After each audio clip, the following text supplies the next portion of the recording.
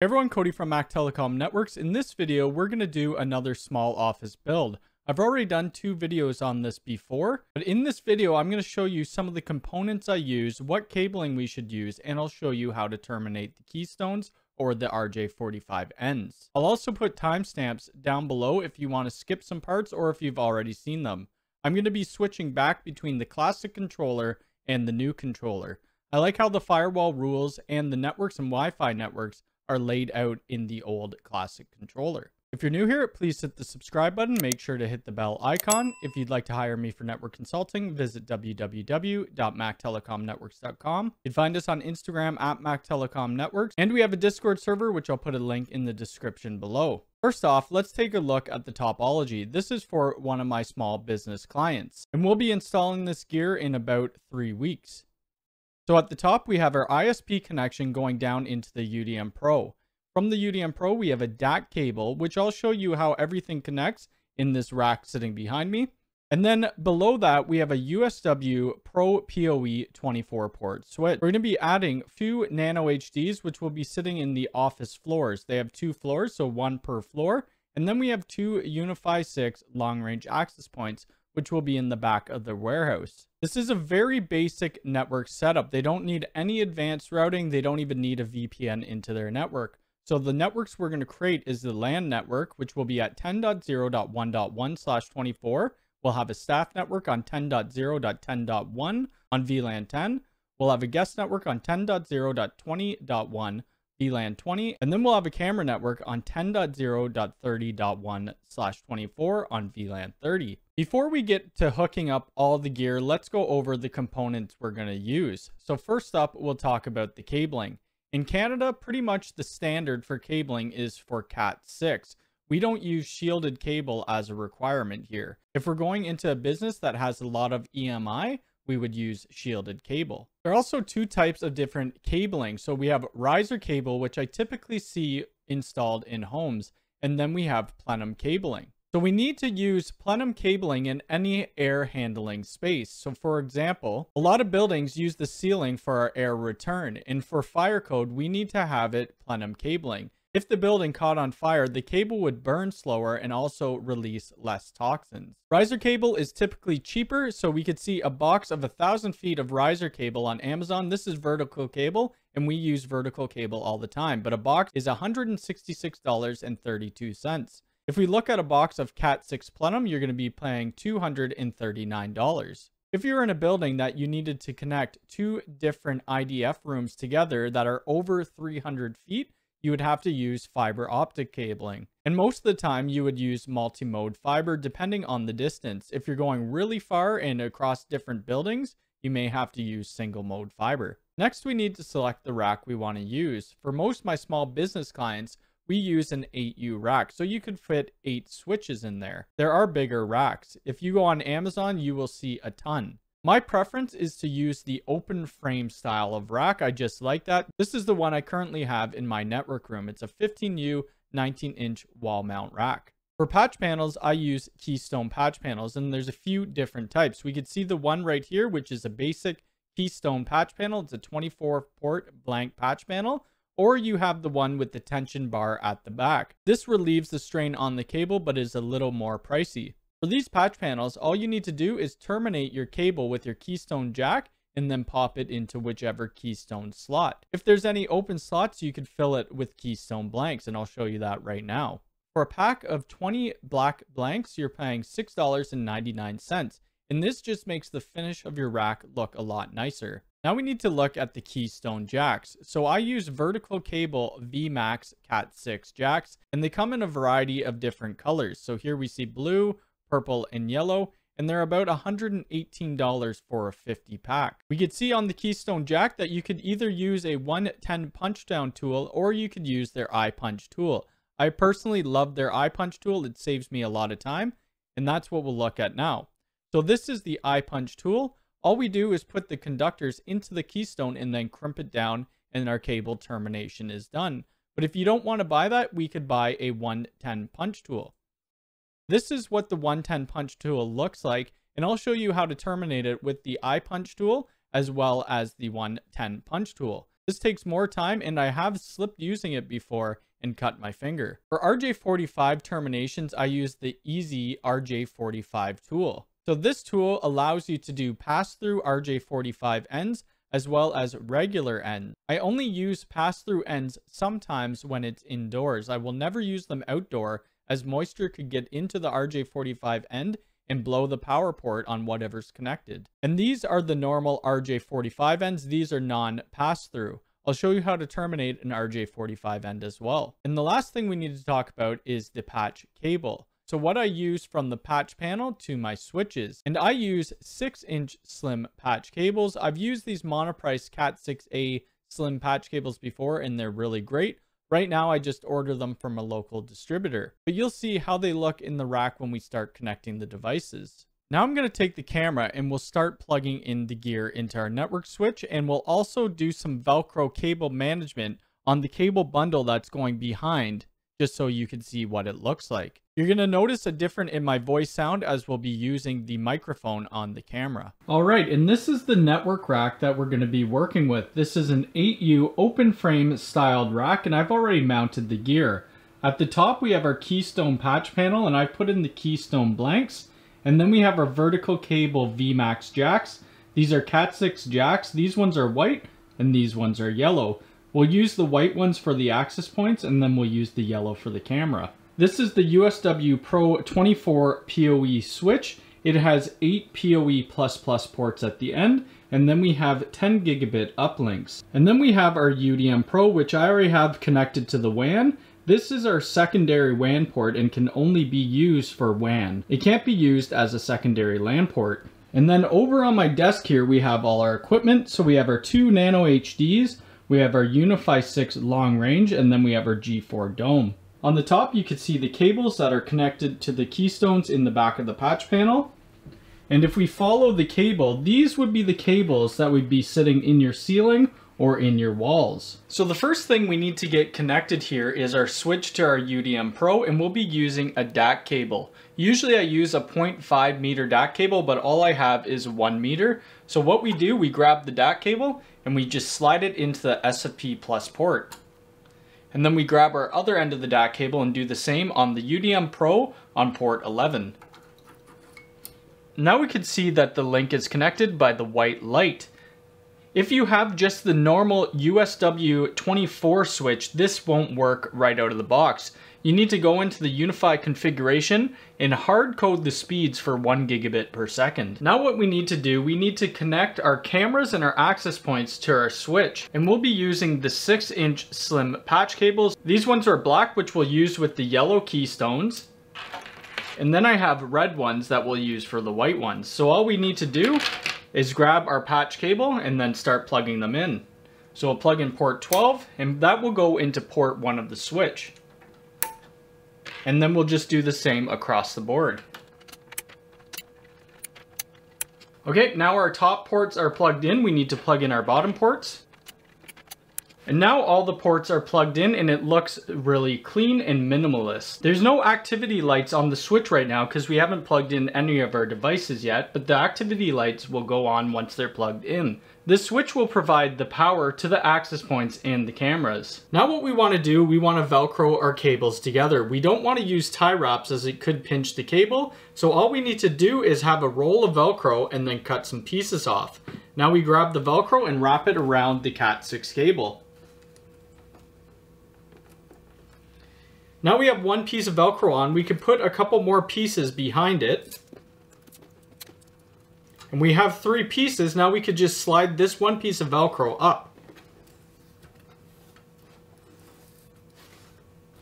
And now that's making our bundle neat. Now with our bigger bundle of cable, this is all eight of the cables, we could do the same thing. We just need to cut bigger pieces of Velcro. So all we do is wrap it around the Cat 6, pull it tight, and now we have a piece of Velcro on here. So I'll put a few more behind here and then we'll just drag it down the cable bundle. Now we have five pieces of Velcro on the bundle of cables. We could straighten out the cables with our fingers and then slide the Velcro down.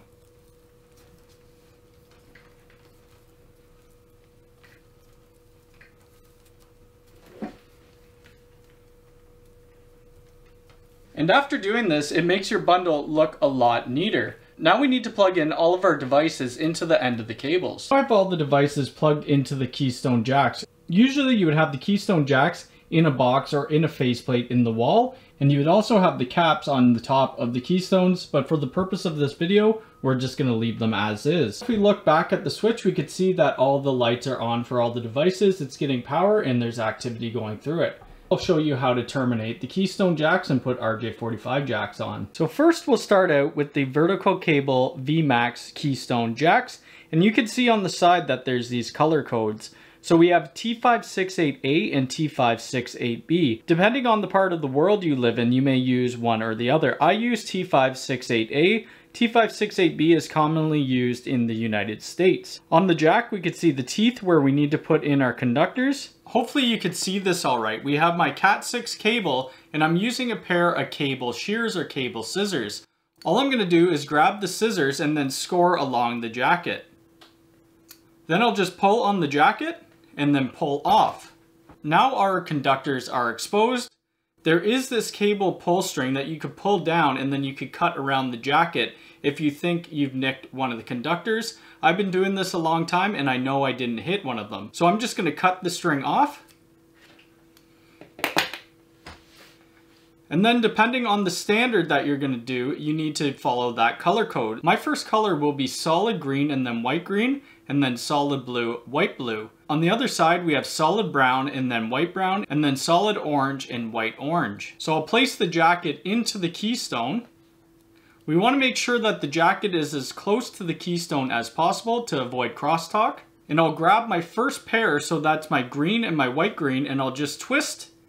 And as you can see that the conductor is going into the tooth, then we could push down. And now the conductor is seated, so we need to do the same for all the other pairs. Now all our conductors are in the keystone jack, we need to get our vertical cable I-Punch tool. Now we grab our vertical cable I-Punch tool and then we put the keystone into the jack. Once it's seated properly, all we need to do is pull down on the crimping tool and you could see the conductors fall off and our jack is now terminated. Next, I'll show you how to terminate with the 110 punch tool. All right, so I already have the conductor put in the keystone jack and this is the 110 punch tool. On the top, it says cut, that's the cutting edge, and we want that to face the outside of the jack. So what we need to do, we need to grab the 110 punch tool, put it into the slot, and then push down. It will make a noise, and we need to do that on the other conductor. Sometimes when the blade isn't sharp, this one isn't too sharp, it won't cut completely through, so you could just twist it off. But you want to make sure that the conductor is pushed right down. So now we need to do that for the other three pairs. As you can probably see, the I-Punch tool is a lot easier and time saving. Even though you need to buy proprietary VMAX jacks from Vertical Cable, it is worth the money. Now let's do the RJ45 terminations. And this is the RJ45 end. I also have a clear boot. You don't need the clear boot, but it does make it look a little nicer. So I'll grab my cable and then put the clear boot on. We'll grab our cable shears and then we'll score the jacket of the Cat 6 cable. And then we'll pull the jacket off. We're going to want to cut the pull string. Then again, we're going to want to follow a standard. So either T568A or T568B. So for me, I'll be using T568A. So the first color pair will be white, green, green. So we untwist our conductors and then we just straighten them out. The next color will be white orange and then we'll straighten it out as well. And then we want to use solid blue and then white blue. After the white blue, we're going to use solid orange. And then we'll use our white brown and then solid brown. You want to try to make the conductors as straight as possible. And then you could grab your cable shears and then just cut them in a straight line. After we cut it, we want to grab our RJ45 end and make sure that the tab is pointing down and then push it onto the cables. The cables are now seated inside of the RJ45. We want to bring up the clear boot. And with the clear boot on, we grab the RJ45 crimper and we push the RJ45 end into the crimper and then we just crimp down. And now our cable termination is done. So that's it for the physical part of this. Let's get to the software and configuration. Well, now we have the physical side done of things. So we need to work on the software side. First, we need to get our UDM Pro up and running. So it says device name UDM Pro. I'm going to call the device small office and then we'll accept the end user license agreement and press next. We need to sign in with their single sign-on account and press next, so I'll go ahead and do so. And then it's going to ask us about an update schedule. I'm going to have this disabled, and then we'll press next. Auto optimize we'll leave on for now.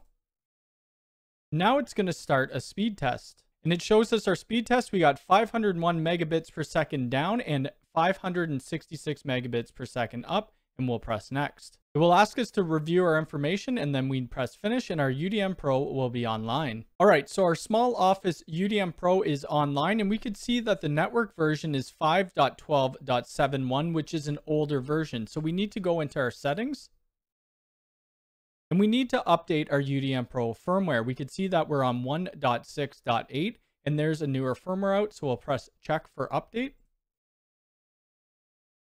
And it's showing us that there's an update available. So we'll click on that. And it's going to update our UDM Pro to version 1.10.0 and we'll press confirm. The update is finished and it's added a whole bunch of different controllers. So we have our network controller, we have UniFi Protect, which will be for our cameras, we have UniFi Access, and we have UniFi Talk. We won't be using these two in this video, but we will be using network and protect. First though, we need to change our LAN subnet. If we look back at our diagram, we want the LAN to be in 10.0.1.0 network. If we bring up a command line and I type in ipconfig, we're getting an IP address from 192.168.1.x network. So we'll go to our network controller and then we'll click on the settings wheel. From here, I'll click on networks and we could see that we only have one network configured right now, which is our LAN network. If we click on the LAN network, we should be able to edit the subnet that it's in. So we could click on advanced. And then we could see that it's in the 192.168.1.1 network, and we need to change that.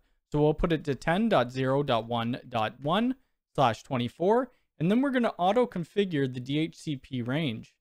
So now our DHCP range starts at 10.0.1.6 to 10.0.1.254, and we're going to apply the changes. So now our PC should get a new IP address, but to speed it along, I'm going to type in ipconfig space slash release, and then ipconfig space slash renew. We can see that our lease has been renewed and we're getting an IP address of 10.0.1.87. So that's great. Now the next step, we need to get all of our devices into the network controller. So we'll go up to the device tab and we can see a bunch of different devices listed here. So we have our USW Pro 24, we have our UniFi 6 long range, and then our Nano HDs. In the new controller, the green symbol means that it's adopted into your network controller already, and the blue symbols mean that it isn't. So the first one we'll do is our USW Pro 24 PoE. We'll click on the switch, and then all we need to do is press adopt. Now this is going to get added into our unified network controller. And once that's done, we could add the rest of the access points. From here on out, I'll be using the classic dashboard. I just prefer it. The only thing we'll be using the new dashboard will be for the threat management. So now while we're waiting for our devices to adopt, let's create the networks. The next network we need to create is our staff network. So we'll click on networks and then create new network. We'll call it staff. And then the purpose will be corporate. We're going to give it a VLAN ID of 10 and then give it a gateway and IP subnet of 10.0.10.1 slash 24. And then we'll update the DHCP range and scroll down and press save.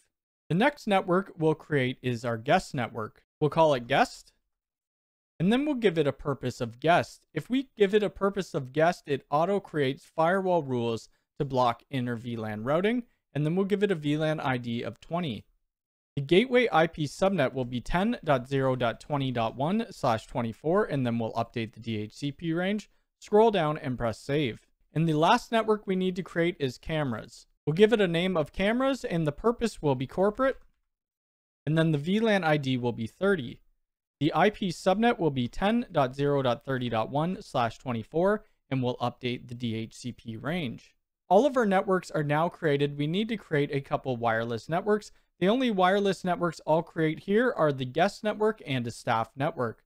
So we'll go over to wireless networks, click on create new wireless network, and we'll call it staff.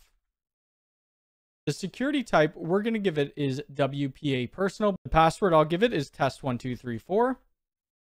And then we'll select the network of staff and press save. Now we need to create our guest wireless network. I'll call it guest. We'll give it a password of test1234 and then the network will be guest. On our guest network, we're going to want to limit the bandwidth to 10 download and 2 upload. How we do that, we go over to user groups and then create a new user group. We'll call this guest profile. And then we're going to select the bandwidth limit download and upload. We're going to switch it from kilobits per second to megabits per second. And then the download speed we'll put is 10. And then the upload we'll have is 2 and press save. We need to go back to our wireless networks and then click edit on guests and then advanced options. Under the user group, we need to select that new guest profile we created and press save. Now, whenever somebody connects to the guest network, the most bandwidth they'll get is 10 megabits per second down and 2 up. So let's take a look at some of the firewall rules. So we'll go to routing and firewall, and then we'll click on firewall. We look under our guest in, guest out, and guest local. Guest in will have firewall rules, so will guest local. First thing we need to do is to create a group with all of our private IP addresses. So we'll click on groups and then create new group. We'll call it RFC 1918, which is a request for comments, and it's a white paper that you could look up on Google. The first address in RFC 1918 is 192.168.0.0 slash 16. Then we have 172.16.0.0 slash 12. And the last one is 10.0.0.0 slash 8. We're working only in this subnet, but we add the other two just in case we create a network out of the 192.168. It will still be covered by the firewall rules, and then we press save. The first rule we're going to create is established and related. So we're going to create new rule and we'll call it established and related. The action is going to be to accept, and then under the states, we want to check off established and related and press save. And in another video, I'll go in more depth about what all of these firewall rules mean. This will just get you up and running and inter VLAN routing blocked. The next rule will be to drop invalid state. So we'll create new rule and we'll call it drop invalid state. The action will be to drop and then the state will be invalid and we'll press save. So in this network, we want our LAN network to be able to access everything and then every other network to only be able to see their own subnet in the internet. So we'll create a new rule and we'll say allow LAN to all VLANs. The action will be to accept and our source address will be a network of our LAN. The destination is going to be that new RFC 19 group that we created and we'll press save. Now to block inter VLAN routing, we need to create a rule and we could call it just that, block inter VLAN routing. The action will be to drop and then we could scroll down and the IPv4 address group will be RFC19 for the source and RFC19 for the destination. This will allow the camera network not to be able to talk to the LAN network, the staff network, or the guest. It could see everything on its own network and the internet. But say we were sitting on our camera network, we would still be able to reach the gateway of each of the other networks. So the camera could get to 10.0.20.1, it could get to 10.0.1.1, and 10.0.10.1. And we don't want anybody getting to our firewall. So we need to go back to our firewall, go to groups, and then create some groups. So we'll create a new group, and this group's name will be to block cameras to gateways, so GWS. In this group, we're going to put all the subnet gateways besides our own. So the first one will be 10.0.1.1. The second one will be 10.0.10.1. And the last one will be 10.0.20.1 and then press save. So now we could go to rules IPv4 and then all of our gateway rules are done under LAN local. We'll create a new rule and this will be called the same block cameras to gateways.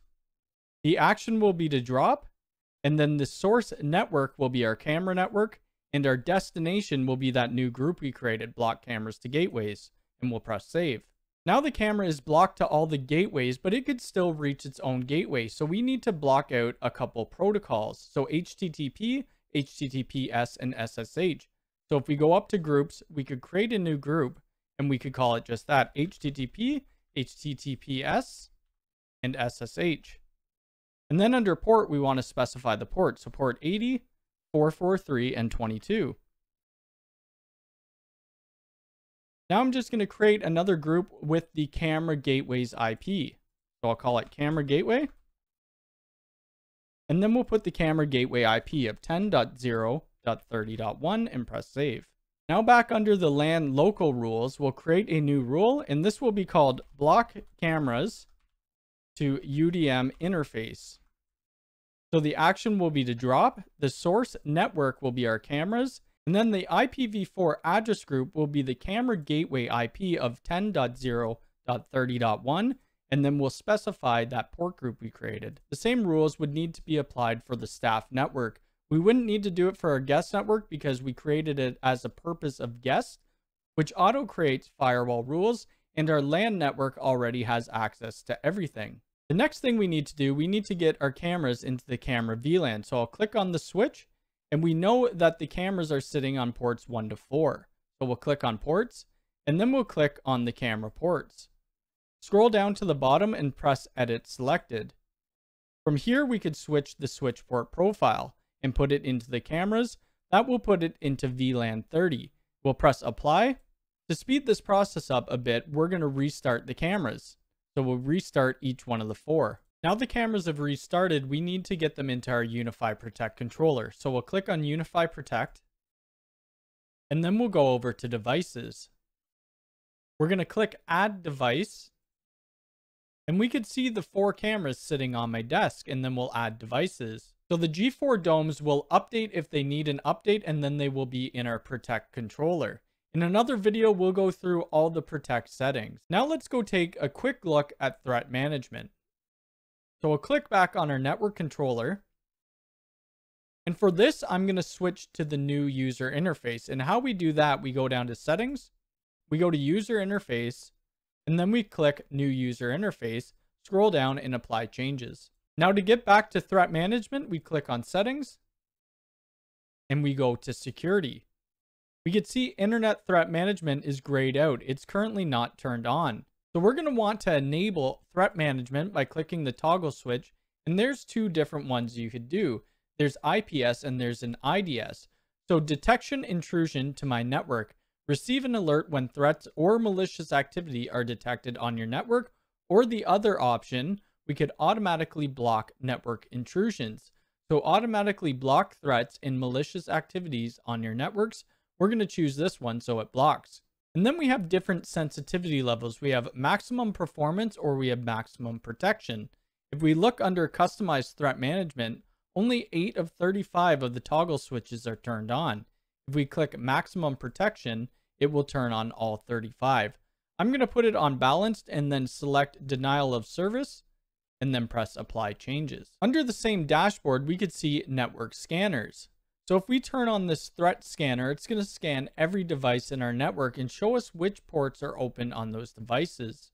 And then we have internal honeypots. Apply honeypot to your networks to detect malware, worm, or other types of malicious traffic attempting to scan your network for vulnerabilities. We could turn this on by hitting the toggle switch and then creating a honeypot. You could create a honeypot for every single network that you create, and you could specify the honeypot IP if you wish. I'm just going to leave it on the dot two for each network and press create. Now, if we want to create it for a staff, we just do the same thing. Same for guest and cameras. Now we'll take a look at the threat management dashboard. So we just go over to the shield on the left-hand side, and this is going to be an overview of your threat management. From this screen, we could do geo IP filtering. So if we wanted to block out, say, Canada, Greenland, Iceland, Russia, whoever, we just click on the country and then we would press block. If you do have a threat management alert, it will show up under the traffic log. All of your endpoint scans will show up under this endpoint scan, and then our honeypots will show up under there. We just added it so no data has been collected. But that's it for the small office setup. I showed you what gear you should buy, showed you how to terminate network cables, and show you how to do some of the basic configuration to get your networks up and running. If you have any questions about this video, please leave it in the comments below. If you like this video, hit the thumbs up button. If you're new here, please subscribe and hit the bell icon. All right, thanks.